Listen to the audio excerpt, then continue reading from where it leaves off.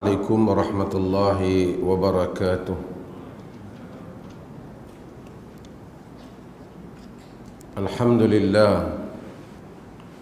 نحمده ونستعينه ونستغفره ونعوذ بالله من شرور أنفسنا ومن سيئات أعمالنا.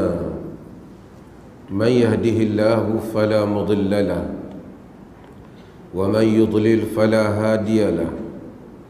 أشهد أن لا إله إلا الله وحده لا شريك له وأشهد أن محمدا عبده ورسوله أما بعد.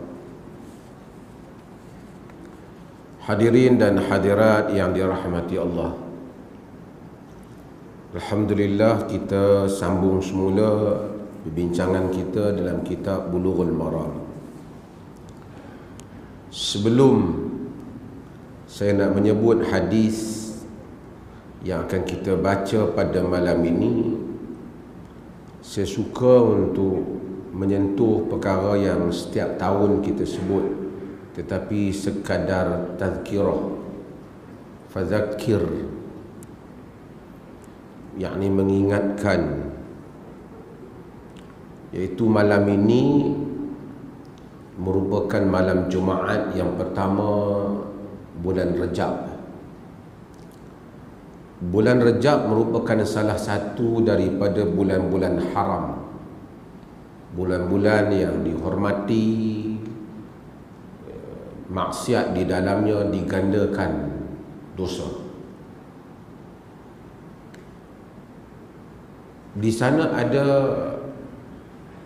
hadis ya hadis yang palsu berhubung dengan fadilat malam Jumaat pertama bulan Rejab.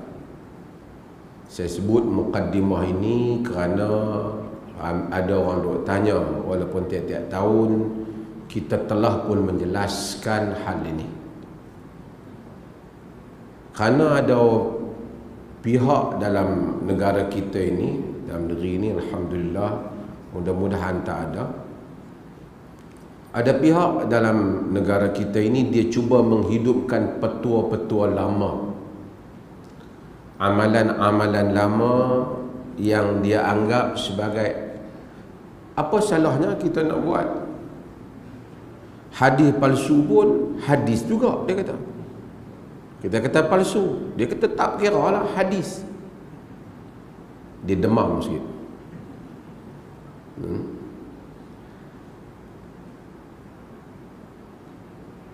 Agama ini agama ni mesti dia ambil daripada sumbernya. Kita beribadah kepada Allah menurut yang Allah mahu bukan saja pada Allah tapi menurut cara yang Allah mahu kita manusia ini kita pergi ke kedai. Kita order satu makanan kita nak makan. Katakanlah kita order laksa Duduk sekejap dia mari bagi kat kita mi. Ada udang, ada apa. Kita kata saya order laksa. Memang memang saya tahu cik order laksa tapi mi lagi sedap dia kata. Yalah tapi saya nak makan laksa. Tapi mi lagi bagus kedai kami ni. Kata bagus. Hang punya lidah, aku punya lidah. Hari ni aku nak makan laksa. Itu kita. Allah Subhanahu wa taala maha suci dari dibandingkan.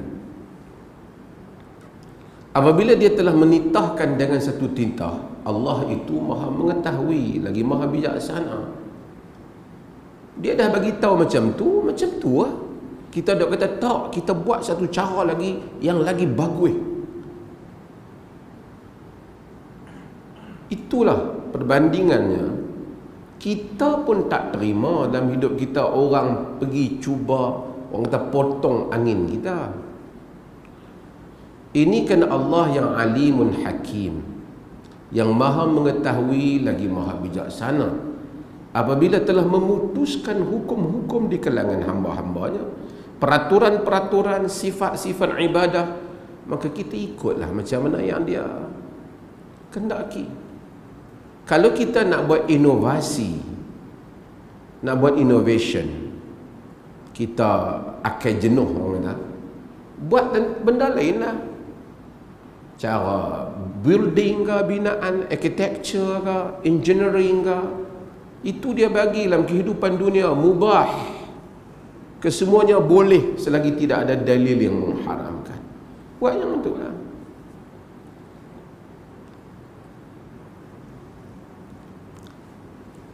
di dalam hadis yang diriwayatkan oleh Imam Muslim dalam sahih daripada Abi Hurairah radhiyallahu anhu Nabi sallallahu alaihi wasallam bersabda Nabi kata la takhtassu lailatal jumu'ati biqiyamin min baini layali ولا تخصوا يوم الجمعة بصيام من بين الأيام illa an yakuna fi sawmin yasumu ahadukum. Nabi kata jangan kamu khususkan pada malam Jumaat dengan apa-apa semayang yang tidak ada pada malam-malam yang lain. Tak ada semayang special malam Jumaat. Nabi kata jangan. Tak ada. Nabi kata Nabi kata. Dalam sahih Muslim Nabi kata jangan kamu khususkan hari Jumaat dengan satu puasa yang tak ada pada hari-hari lain. Melainkan dia adalah merupakan puasa yang kamu puas, puas yang kamu puasa di kalangan puasa kamu. Yang ni kita dah nazar nak puasa tiga hari, salah satunya hari Jumaat. Apa? Bukan kita khususkan hari Jumaat. Dia dalam dalam hak mana yang kita nak amalkan tu dia ada dalam tu. Bukan kerana khusus hari Jumaat. Tak. Hadis Nabi sahih kita kata itu pahaman dia lalu kita baca qaul ulama dalam tafsirkan benda ni saya baca apa qaul ni kata wa fi hadzal hadithi an-nahyu sarih an takhsisi lailatul jumu'ati bi salatin min baini layali wa yaumiha bi saumin kama taqaddam wa hadha muttafaqun ala karahiyatihi wa ihtajja bihi ulama ala karahati hadhihi salati al-mubtadi'ati allati tusamma ar-raghaib apa makna dia? Sekali saya beritahu siapa yang kata benda ni. Pada hadis ini larangan yang jelas mengkhususkan malam Jumaat dengan satu semayang yang tak ada pada malam-malam yang lain. Mengkhususkan hari Jumaat dengan puasa yang tak ada pada hari-hari lain. Seperti mana yang telah dinyatakan. Kau ni kata wahada muttafaqun alaihi dan ini wahada muttafaqun ala karahatihi. Dan ini sepakat di atas hal ini dibenci. Ha? wahtajja bihil ulama ala karahati hadhihi salat as-salatil mubtadi'ah. Ulama berhujah dengan dalil ini tentang makruh ataupun dibencinya sembahyang yang bid'ah. Oh dengar bid'ah melompat tu ha, duduk-duduk tu tentu kitab wahabi lah ni. Ulama besar wahabi ni kata ni. Kita nak tengok siapa ulama besar wahabi kata ni. Hmm? kena tuduh wahabi dah kawan ni. Hmm? allati tusamma raghaib yang dinamakan dengan ar-raghaib. Qatalallahu wadi'aha. Semoga Allah membinasakan orang yang mengadang-adakan semayang tu. Qatallah ni berat. Bunuh Allah bunuh orang yang mengadang-adakan semayang ni. Wa mukhtari'aha dan mengadang-adakannya. Fa innaha bid'atun munkaratun minal bid'ah allati hiya dalalatun wa jahalah. Karena dia adalah bid'ah yang mungkar di kalangan bid'ah yang padanya kesesatan dan kejahilan. Wahabi besar kawan ni. Sekali kita tengok siapa dia hak kata ni. Eh? Mereka dengar yang ni melompat. Puak-puak ni baca buku wahabi. Dia ni memang teruk wahabi besar.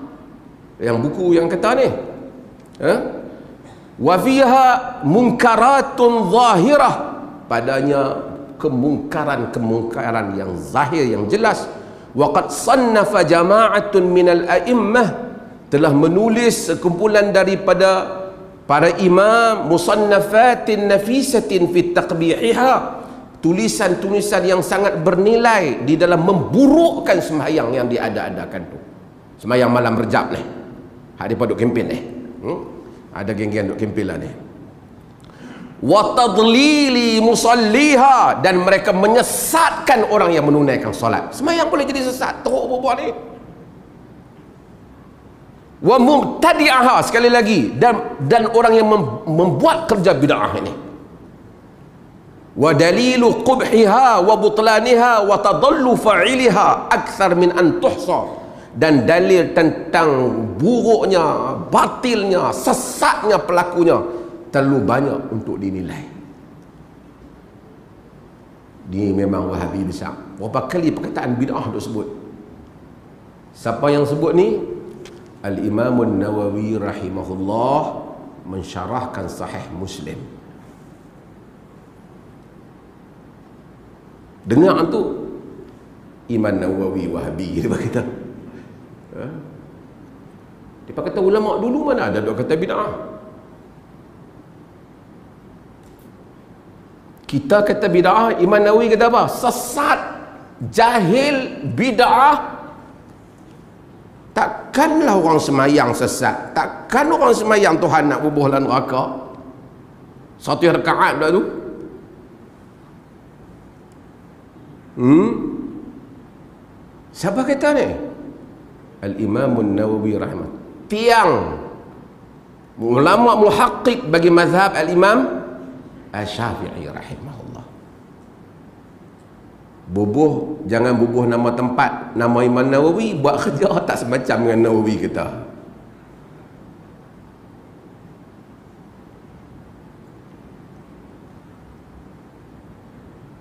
An-Nawawi rahimahullah. Depa kata geng-geng tu mana hormat ulama? pun tuduh orang tak sama dia depa tak sama jauh habis lalu kan? Sampai orang yang kena tuduh wahabi pun tak tahu wahabi apa. Kucing jatuh atas bumbung di rumah dia tengah malam wahabi dia kata. Kesian ke kucing tu? Maksudnya dia kata mereka ni tak hormat ulama tak mau dengar pada ulama ini ulama Nawawi mazhab syafi'i dia kata bid'ah kita kata bid'ah Nabi tak buat pendek ya Menawi bid'ah sesat jahil Kerana demikian kerja para ulama, kerja para ulama. Bukan kita kata An-Nawawi rahimahullah kata. Oh dia kata kitab ni mesti menyeleweng. Oh mesti menyeleweng. Ah. Pergi cari hadis Imam Muslim tentang bab tadi, hak kita baca tadi, pergi cari uh, syarah sahih al-Muslim oleh al-Imam An-Nawawi rahimahullah. Al-Minhaj Syarh Sahih Muslim bin Hajjaj. Hmm? Kenapa Imam Nawawi kata macam tu? Kena agama mesti dipelihara ketulinan dia. Ya? Pelihara ketulinan dia. Kita tak sebut sekerah itu kita habak terus buat dia. Imam Nawawi sebut kerah. Hmm. Kadang-kadang orang ni saya kadang-kadang orang ni dia cakap saya kebetulan jumpa dengan satu hamba Allah hamba Allah ni pensyarah universiti bekas pensyarah universiti dan salah satu universiti di Perlis ni tuan-tuan kira ada berapa kuib tak masuk lah bekas pensyarah universiti dia ni bak komplain maib A ya. Bau pencin. Secara kebetulan dia duduk tepi saya, saya kata, ha, tanya, selama ni duduk sakan sangat, ha, tanya dekat ni. Perempuan pergi pergi sana lah kali dia kata dia kata saya tak puas hati sebab perlih ni kata kunut bid'ah saya kata dengar tak mana perlih kata kunut bid'ah tu dia tak buat. Eh dia tak buat kita kata bid'ah kan? Dia kata tengok dia tak buat. Lepas tu saya tengok dia kata khutbah kata kullu bid'atin dhalalah bila nak mula khutbah kata macam tu. Saya kata tu memang ungkapan Nabi bila mula khutbah.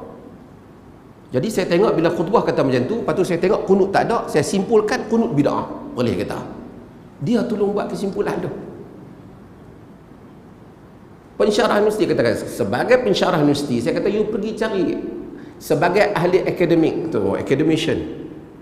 You pergi find the official statement daripada pihak yang ada. Kita, kita kata ini khilaf dalam mazhab kita mentarjihkan tidak ada kunut.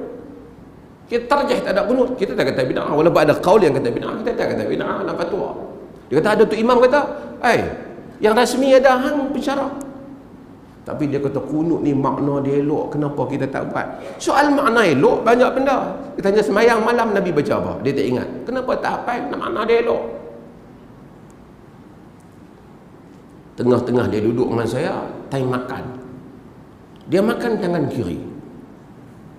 Makan tangan kiri. Saya tengok saya terus pegang dia. Saya kata Nabi suruh makan tangan kanan Nabi tengok kepada Muhammad bin Salam Nabi kata ya gulam Uh, uh, samillah wa qul bi yaminik.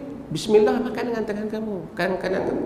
Nabi kata makan dengan tangan kiri ni syaitan. Dia kata saya duk biasa dah kiri. Saya kata punyalah jelas hadis nabi entah tak mau nak amalkan hak benda tak pasti amalan hak, hak tu duk kalut duk suruh orang lain amalkan Tu menunjukkan kadang-kadang hal-hal ni berlaku bukan kerana ilmiah tapi kerana hasad, tak puas hati, tak ada kerja. Lah-lah sekali saya duk kaji dia ni pasal apa? Sembang-sembang rupanya ada 10 tahun lebih dulu dia ada minta projek kan Maib, Maib tak bagi. Yang tu rupanya projek dia. Yang tu baru saya dapat. Patutlah. Ha, kawan dia marah bab lain. Dunia dunia. Baca hadis eh? Panjang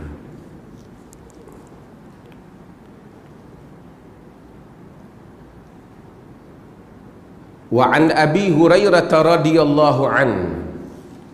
Qala qala rasulullah sallallahu alaihi wasallam Man sami'a rajulan yanshudu dhalatan fil masjid falyaqul la raddaha Allahu alayka. Fa innal masjida lam tubna li rawahu Muslim. Ini satu lagi hadis yang diriwayatkan oleh Imam Muslim. Daripada Abu Hurairah radhiyallahu anhu eh, radhiyallahu Abu Hurairah radhiyallahu anhu Abdurrahman bin Sakhar. Kita telah kenalkan dia qala Rasulullah sallallahu alaihi wasallam Rasulullah kata Man sami'a rajulan yanshudu dhalatan fil masjid. Sesiapa yang mendengar seseorang yang yanshud menjerit ataupun angkat suara kata dhalatan. Ha? Duk bagi tahu binat asalnya dhalah ni binatang hilang. Eh unta saya hilang siapa ada jumpa? Ha tu yanshud kambing saya hilang siapa ada jumpa? Lembu saya hilang siapa ada jumpa? Fil masjid di dalam masjid. Pasal apa hal ni berlaku? Sebelum saya kita nak baca hadis ni dalam uh, terus sebab masjid adalah tempat orang ber berimpun bila tempat orang berimpun kadang-kala paling mudah sekali bila binatang hilang pitanya orang dalam masjid eh? pada zaman dulu sekarang tak apalah ada medsos kan? Ada media sosial. Dulu tak ada. Ha, dia apa badui padang pasir mana ke apa barang hilang masuk dalam masjid ataupun binatang hilang masuk dalam masjid jerit dalam masjid ataupun angkat suara dalam masjid bagi tahu bahawasanya siapa jumpa barang saya. Jadi masjid jadi tempat untuk iklan barang ha? barang orang hilang. Pasal itu pusat dia. Kerana tempat pusat tempat orang ber, bertumpah. Nabi kata sallallahu alaihi wasallam kalau sekiranya kita dengar orang kata macam tu dalam masjid falyaqul. Hendaklah kita kata seorang tu kata la raddahallahu alaika. Allah Ta'ala tak akan mengembalikannya kepadamu.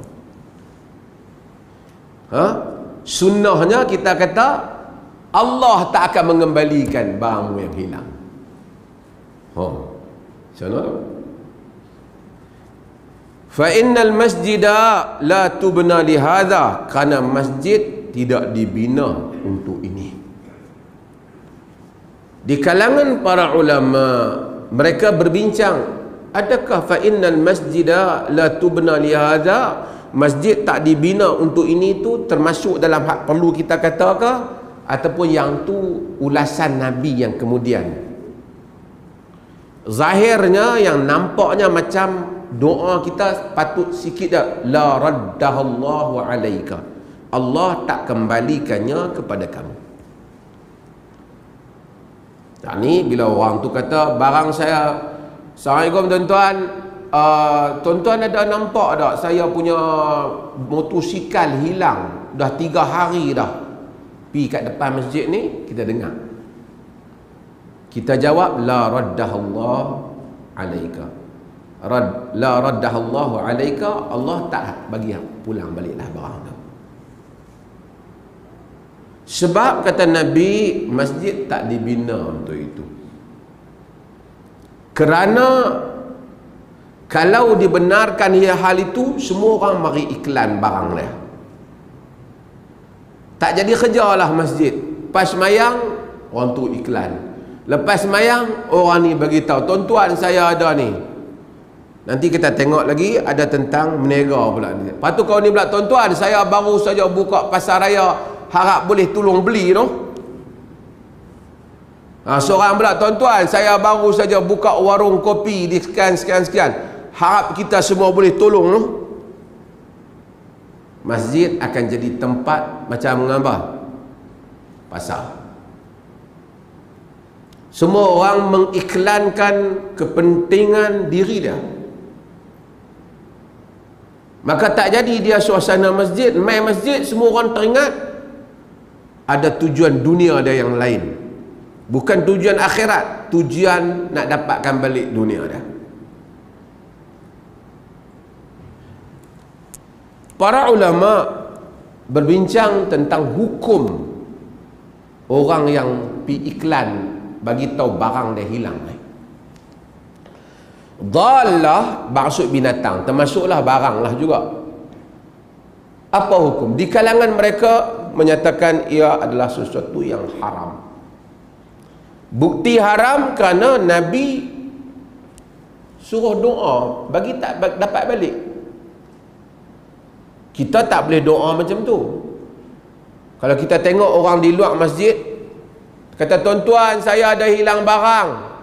Kita tak boleh kata la radallahu alaik semoga Tuhan tak bagi barang balik. Tak boleh. Sebab dia iklan di luar masjid. Patut kita doa supaya Allah bagi balik. Pasal apa kita doa dalam masjid macam tu? Sebab dalam masjid dia telah merosakkan tujuan masjid. Dia telah merosakkan tujuan masjid. Iaitu masjid dijadikan kepentingan diri dia untuk iklan barang dia. Saya di Penang dulu pernah ada satu penceramah tu terkenal lah juga dia baru buka pasar raya. Pasar bukan pasar raya lah macam supermarket mini market lah dia buka. Di kempen dalam khutbah dia. Siap dia habak lagi siapa yang tak beli kalau saya buka dan saya gagal pasar raya tuan-tuan bertanggungjawab kepada Allah Ta'ala kerana tidak menolong sesama Islam. Dia gempak orang lagi. Orang lain mungkin pergi beli kedai orang lain. Dia pulih kalau ustaz boleh, makmum pun boleh tak? Boleh. Kalau kita semua masyarakat peniaga, kita ada 20 orang peniaga, 20 orang peniaga boleh iklan tak? Boleh. Lepas tu kita pula nak cari pekerja. Pas mayang, tuan-tuan, saya cari uh, tiga orang pekerja untuk restoran saya. Siapa nak kerja bagi Main seorang lagi pula, tuan-tuan, saya cari dua orang untuk pembantu rumah saya. Main masjid jadi macam tu. Faham tak? maka dengan itu Nabi kita lah suruh kita doa sunnah ha, sun, do, sunnah doa ni elok yang ni sunnah doa yang opposite yang bertentangan Allah Ta'ala tak kembali kenapa? kalau dia buat macam tu aku barangku dulu iklan kat masjid lah semua. Maka berpusu-pusulah orang menjadikan masjid tempat ik iklan. Dan fa innal masjid lam tubna li hadha karena masjid tidak dibina untuk itu. Ini dia panggil illah ataupun hikmah. Kenapa tak bagi? Nabi bagi tahu sebab. Agama khususnya di dalam hal-hal muamalah titah perintah syarak ada sebab musababnya kerana macam selalu saya ulang nak bagi faham tu saya ulang dah beribu kali ulang Tuhan tidak akan dan nabinya tidak akan memerintahkan apa-apa yang mana Allah Taala ada kepentingan kerana Tuhan itu maha suci daripada memerlukan makhluk.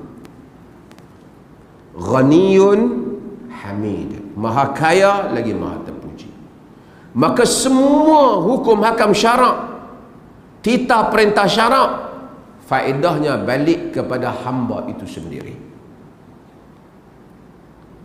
Ia balik kepada kemaslahatan. Walaupun kita nampak tak balik pada kita tapi ia balik kepada masjid. Mungkin hari ini kita seronok sebab kita iklan. Besok kita nak semayang orang iklan kita nak baca Quran orang iklan tak boleh nak khusyuk semayang Allahu Akbar teringat weh tadi ada iklan orang nak cari kerja anak aku boleh ikut Gaya nak baca Quran, weh, ada orang ikut, tak boleh nak ibadat lah masjid. Manusia ada fasa-fasa dia, di luar dia boleh buat. Eh? Bukan di dalam masjid. Maka itu mengapa Nabi SAW tak benarkan. Dan agama begitu sifatnya. Kita kita wajib percaya tidak ada titah perintah Allah yang jelas dan titah perintah Rasulullah sallallahu alaihi wasallam melainkan padanya ada kebaikan untuk hamba mesti. Mungkin sebahagiannya kita tak nampak, kita tak tahu. Mungkin kita tak jumpa. Macam daging khinzir. Orang tak jumpa sebabnya. Tapi kemudian orang jumpa sebabnya. Masa kita tak jumpa Tidaklah berarti hukum tu tak ada Kalau hukumnya jelas ada lah Melainkan Ada benda Yang mana Kita boleh faham illah dia Kita boleh faham illah dia Bila kita boleh faham illah dia Kita ada ruang untuk ijtihad maksud dia. Karena hukum itu taduru Taduru ma'al illah. Taduru ma'al illah. Dia berputar bersama dengan illah. Ahkam hukum hakam syarak berputar bersama illah. Ada benda yang illahnya jelas. Ada benda yang kadang-kadang tak jelas. Tapi kalau hukumnya jelas ada hukum di situ. Pasal apa tak boleh minum arak? Semua benda yang selalu kita buat contoh. Sebab me memabukkan. Kalau hilang mabuk daripada arak dah jadi cuka sudah tak haram. Ada benda yang ulama bincang. Adakah ini illah atau bukan kerana illah misalnya wanita bermusafir tanpa mahram musafir tanpa mahram Kenapa Nabi larang? La tusafirul mar'ah biduni mahram. Kerana Nabi larang wanita bermusafir tanpa mahram. Di kalangan para ulama ada yang menyatakan Nabi larang-larang. Di kalangan mereka kata kerana fitnah kepada wanita. Kalau wanita bermusafir tanpa mahram tapi bersama dengan kumpulan wanita yang ramai yang terselamat daripada fitnah boleh ataupun tak? Dalam sebahagian mazhab seperti mazhab Syafi'i rahimahullah mazhab Imam Syafi'i rahimahullah membolehkan hal itu. Kerana dia melihat di sudut illah. Dia melihat di sudut illah.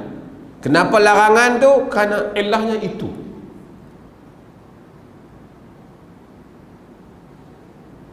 ada benda suruhannya? Jelas. Jilatan anjing basuh tujuh kali salah satu air tanah. Illah dia kerana air tanah apa kita tak dapat tahu. Kemudian orang buat kajian. Tapi hal itu masih berjalan. Di kalangan para ulama kata maintain dengan air tanah. Di kalangan mereka menyatakan jika tidak ada air tanah apa-apa yang sabun, daun-daun yang mengambil tempat macam tanah boleh. Ada kaul di kalangan para ulama yang menyebut hal seperti itu. Karena melihat pada illah. Tak apa, cuma ini adalah kenapa Nabi bagi tahu kerana perbuatan itu menyanggahi tujuan masjid. Kita kata Allah seorang je, kalau seorang boleh, dua orang mesti boleh. Betul tak? Kalau dua orang boleh, tiga orang boleh. Tak bolehlah tu imam kata tak, aku benarkan dia saja. Kita tanya apa kuasa tu imam dia saja boleh? Weh, dia kawanku. Tak boleh lah. Dia menantuku, tak boleh lah mesti sama maka Nabi SAW tak benar timbul perbincangan di kalangan para ulama macam mana kalau dia bukan minta barang habak barang dia hilang tapi dia habak barang uang hilang betul tak uh, siapa yang ada hilang jam eh, boleh mai jemput tu imam boleh tak Macam mana tu? Cuba tu imam abang.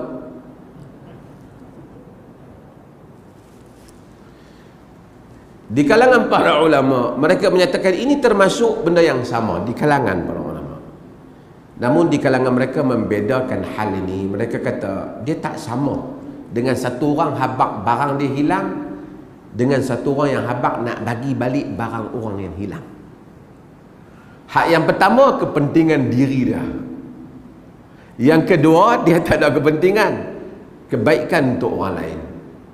Itu utama apabila benda tu berlaku di dalam masjid. Tapi kalau barang tu hilang di luar masjid, dia pergi iklan di luar masjid. Kalau satu orang dia hilang barang, habis tu tak boleh ke kalau saya hilang barang, saya nak pergi habang kat masjid? Boleh, tapi bukan dalam masjid. Di mana?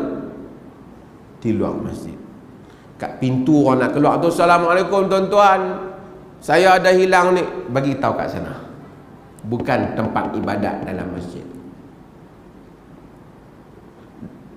Cumanya bahagian yang bagi tahu siapa ada barang hilang mai jumpa dia diringankan fatwa oleh para ulama sebahagiannya menyatakan ini tak termasuk dalam maksud hadis. Kerana yang ni dia buat baik pada orang. Terutama barang yang orang masih ada dalam. Apabila kehilangan tu membabitkan dalam masjid dan ia di bawah urusan takbir masjid jangan pergi hilang di hulu kampung sana tu dia kalut duk main dalam masjid. Melainkan kawan yang iklan tu ada kepentingan perniagaan lain.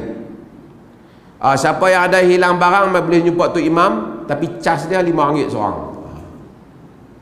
Dia ada bisnes uh, dia ada kepentingan. Itu tidak dibolehkan. Nah itu tidak dibolehkan. Ini hal-hal yang dibincangkan oleh para ulama di di dalam masalah ini okey. Hadis yang berikutnya.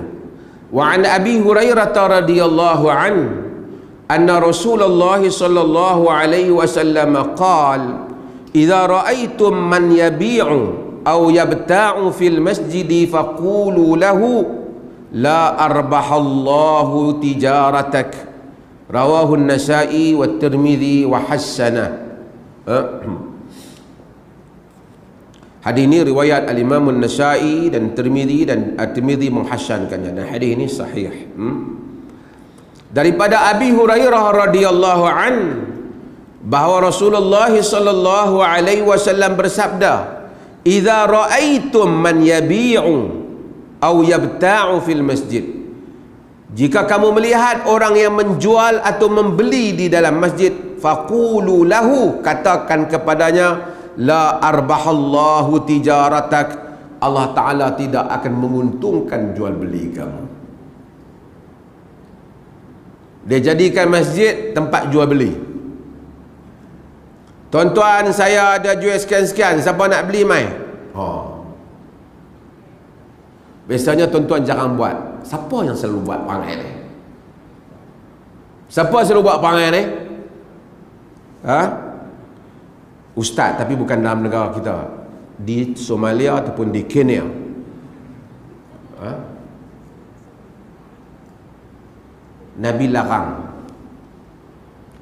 tuan-tuan malam ni saya mai lepas ceramah ni saya juga ada jual barang-barang saya sikit saya bawa mai ada krepek ada ayam yang telah saya jampi kalau anak tak cerdik makan jadi cerdik ha? Ada kurma yang telah saya campur dengan sekian-sekian kalau makan jadi sekian-sekian.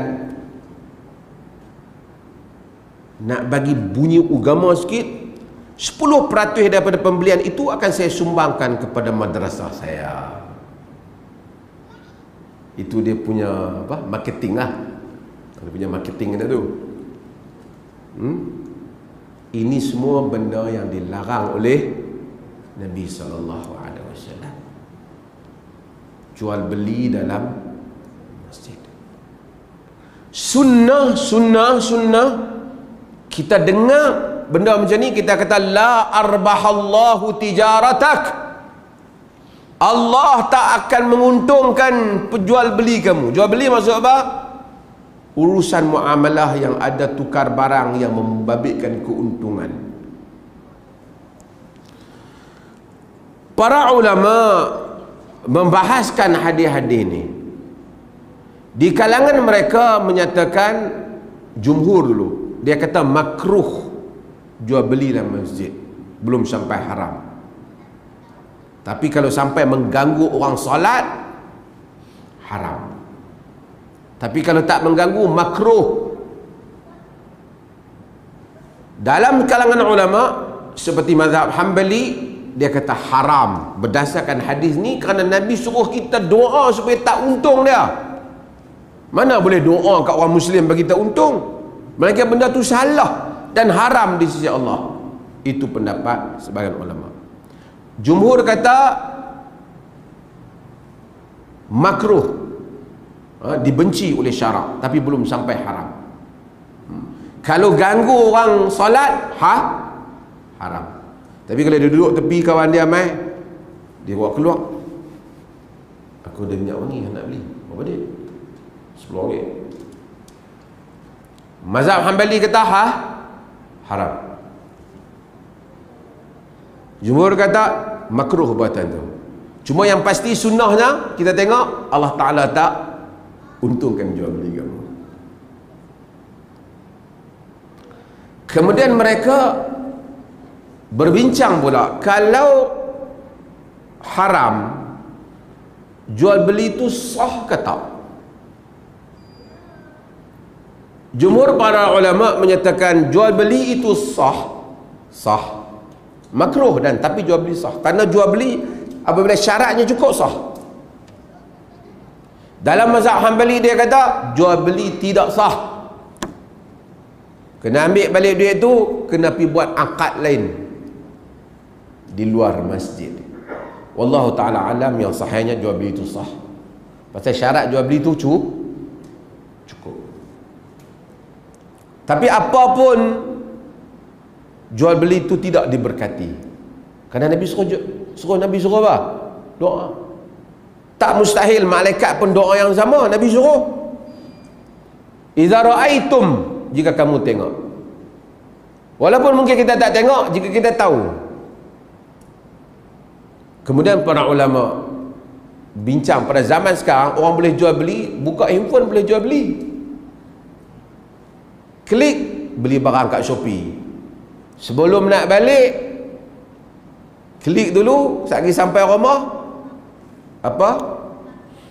Tak mau sebutlah. Syarikat yang makanan tu ha, dia dah hantar barang mai ke rumah kita. Apa hukum tu? Sekurang-kurangnya mak makruh di dalam masjid ha, tapi kalau sampai peringkat pakat duk bangkit jual temikai lah dalam ni lepas tu tuan tujuan cepedak lah sehingga menjadikan masjid bagaikan pasar yang mengganggu orang beribadah hukumnya ha?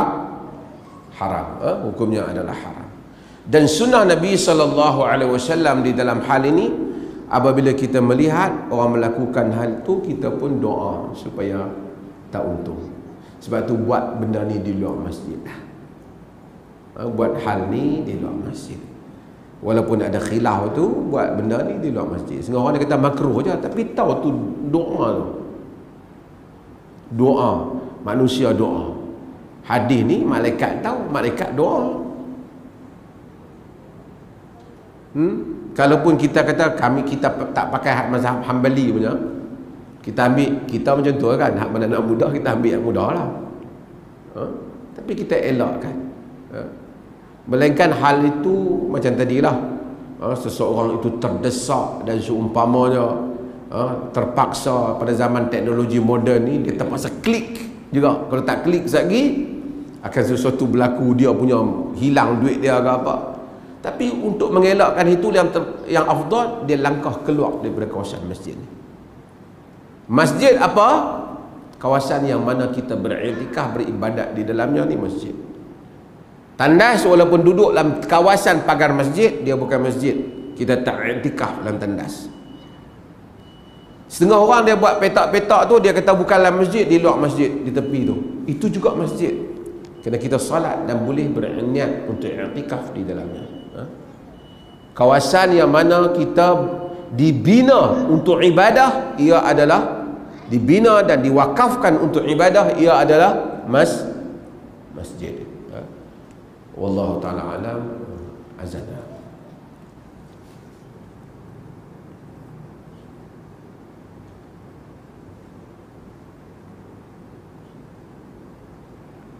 Tuan-tuan, siapa ada soalan dia boleh hantar sekarang sebelum saya jawab sebagai soalan yang ada sini.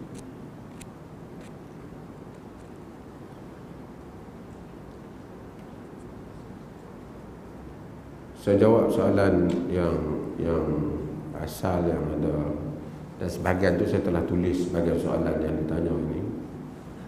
Iaitu tentang tadi kita sebut tentang jual beli uh, yang membabitkan kita order secara online. Sekiranya kita order barang dia hantar barang yang lain apa Adakah boleh kita gunakan barang tu ataupun tak? Kita order Umpamanya hmm, Jenis A Dia hantar jenis B Berbeza. Ataupun kita nak beli Warna kuning Dia hantar warna biru. Boleh ataupun tak Kita gunakan kerana dia tak tuntut pun. Kalau sekiranya barang itu dihantar dan tak sama seperti yang kita sifatkan masa kita order itu maka di sana boleh berlakunya apa yang disebut dalam kitab fiqh sebagai bab al-khiyar ha, pilihan. Dan ini disebut di dalam hadis Nabi sallallahu alaihi wasallam. Khiyar kadang-kadang disebabkan kerana aib barang tu cacat. Dia hantar mai kat kita tak boleh guna. Mungkin dia ada 10 function satu tak boleh guna. So kita boleh melakukan khiyar. Yang kedua ialah mungkin tausif tak sama. Kita minta lain dia hantar barang tu betul tapi bukan yang macam yang kita nak tu. Kan? Misalnya dia hantar bunga juga. Tapi bunga kita minta lain. Bunga hak dia hantar lain. Semua barang ni pada kaedahnya boleh khiyar. Maksud wajib dia kena ganti jika kita hantar. Termasuk orang Islam sekarang ni ramai yang duk kerja ni dia kata dah hantar dah pakai je lah. Ha? sebagai orang dia akai. Barang dia tak habis orang minta yang lain dia hantar yang lain. Kalau di, dia hantar barang yang lain kita boleh khiar yang ni kita boleh tukar balik dengan syarat. Kita jangan guna. Kalau kita guna berarti kita bersetuju untuk beli ya? kita guna kita bersetuju untuk beli.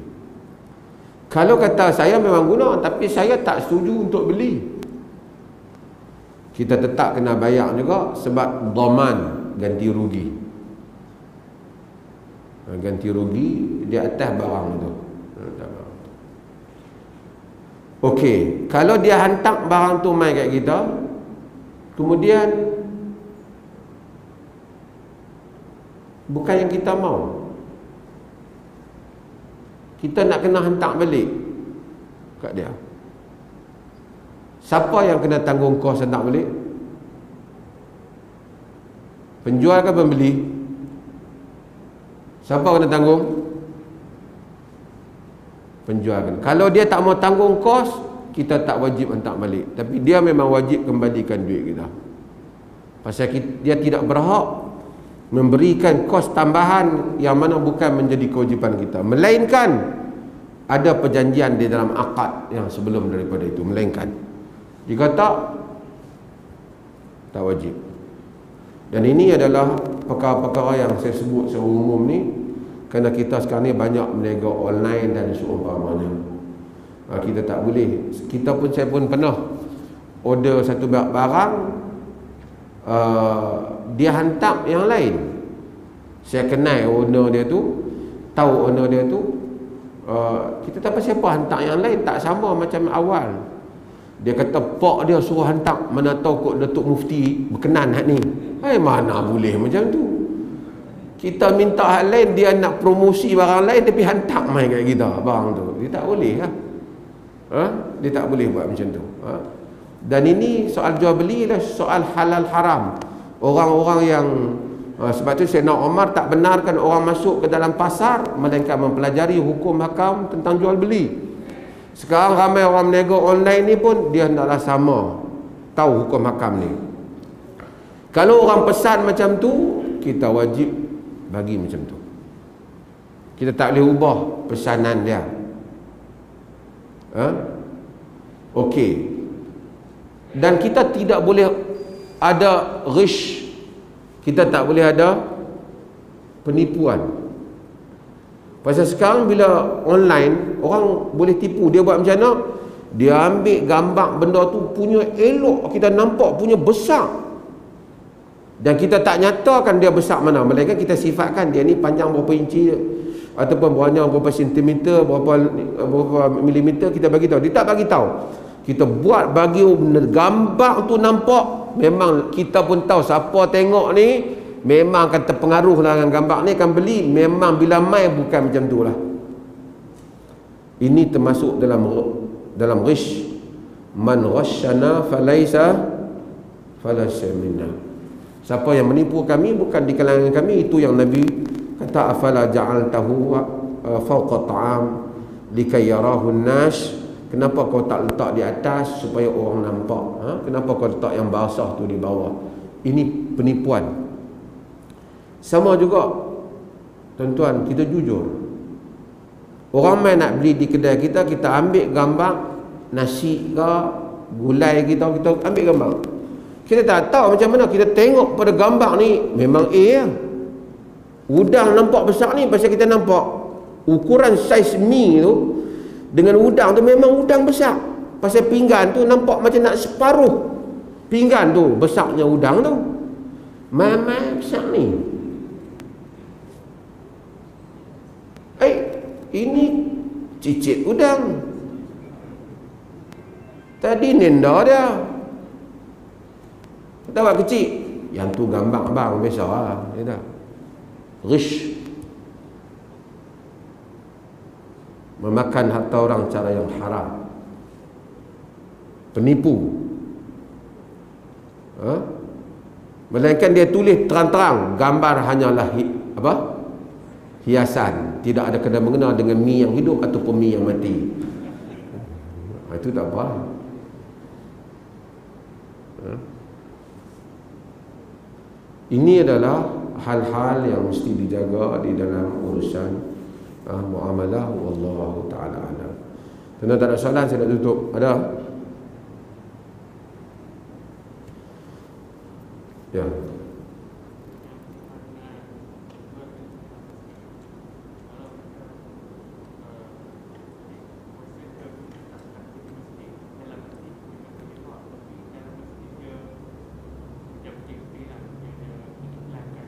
Dia iklan tadi termasuk dalam hadis insya'udhallah tadi. Ha? Iaitu dia jual beli para ulama dalam kitab fiqh sebut masalah ni macam mana kalau dia uh, seorang duduk luar masjid, seorang duduk luar masjid. Aku beli barang hang. Dia duduk dalam masjid, dia bayar duit dalam masjid. Kawan seorang lagi yang terima duit ijab dan kabul berlaku di luar masjid. Dia tu ambil duit daripada luar masjid. Mereka kata sama. Kawan yang duduk dalam masjid hukum tu yang duduk luar masjid tak kena hukum tu lah. Tapi kalau dia tak beli, dia kempen barang dia. Kalau kempen barang hilang tak boleh, kempen jual barang lagi tak? Tak boleh. Barang hilang betul-betul dia susah. Ni kempen jual barang. Kalau satu ustaz boleh kempen, Assalamualaikum tuan-tuan. Uh, saya datang malam ni bawa krepek, bawa apa jeruk madu, uh, bawa madu saya ni daripada Yaman. Kalau makan yang mana bengak terus jadi cerdik. Umpamanya kan kalaupun uh, apa lagi depa jual tu? Ha aiskrim ha, apalah kismi ke apa makan jadi cerdik. Siapa yang nak beli boleh beli di luar masjid. Dia kempen lah masjid. Kita kata kalau ustaz tu boleh kenapa kita tak boleh? Assalamualaikum tuan-tuan. Saya pun baru buka bengkel welding satu Ah, siapa nak apa-apa boleh main wedding. Dia mesti boleh. Seorang pun pakai, tuan-tuan saya pun ada buat cakotel malam-malam. Habis satu masjid ni, kita main dengar ni lah malam-malam. Ha? Tak boleh dia kata, eh saya ustaz, saya mesti boleh. Hampa bukan ustaz, tak boleh lah mikrofon saya pegang. Ha, tak boleh buat macam tu. Ha, sebab itu Nabi SAW tak bagi. Sebab tu saya lalu dah bagi tahu dah. Kalau mana-mana ustaz jual barang dalam masjid, dia pelapor kat kita kita stop dia daripada mengajak di perlih dia. Ha? dia ambil tak apa dah. Kan masjid dah bagi dah duit minyak apa semua kat dia. Dia ambil yang tu. Dia nak kempen dia keluar pergi daripada pintu luar masjid tu. Assalamualaikum tuan-tuan. Penceramah di dalam telah keluar di luar. Kali ini saya jual pula. Madu lebah. Ha, tak apalah di luar. Jangan dikimpin dalam masjid. Wa sallallahu ala nabiyina muhammad walhamdulillahi rabbil alamin